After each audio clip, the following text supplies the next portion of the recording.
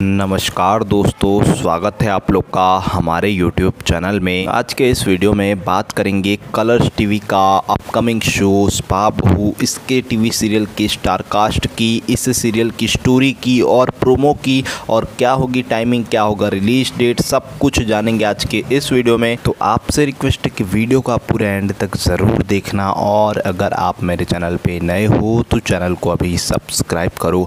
Spa बहू guys colours TV का एक नया अपकमिंग शो है, जिसमें आपको सहबान अजीम और लीड एक्ट्रेस सना सैयद देखने को मिलेंगे। इस सीरियल में सना सैयद, जो कि सेजल का करेक्टर निभा रही हैं तो वहीं पे योहान का करेक्टर सहबान अजीम निभा रहे हैं। ये सीरियल एक स्पा बहू का सीरियल किस तरीके से सीक्रेट एजेंसी में काम कर रही है स्पा और ये एक अपने बॉयफ्रेंड को किस तरीके से अपने जाल में, अपने केस में फंसा लेती है, और ये स्पा ड्रामा होने वाला है कलर्स टीवी का, जिसको देखने के लिए लोग बहुत ज़्यादा एक्साइटेड हैं। इसके फ़र्स्ट प्रोमो को 20 फरवरी 2022 को रिलीज़ किया गया था और फाइनली ये शो रिलीज़ हो रहा है। फोर्टीन मार्च 2022 को इस सीरियल की दोस्तों कहानी काफ़ी यूनिक है और लव स्टोरी के साथ साथ क्राइम ड्रामा एक्शन सीरियल है ये। एकता कपूर के इस सीरियल के लिए आप कितने ज़्यादा एक्साइटेड हैं? कमेंट सेक्शन में कमेंट करके ज़रूर बताना और अगर हमारा ये वीडियो आपको अच्छा लगा है तो वीडियो को लाइक करो, दोस्तों के साथ शेयर करो।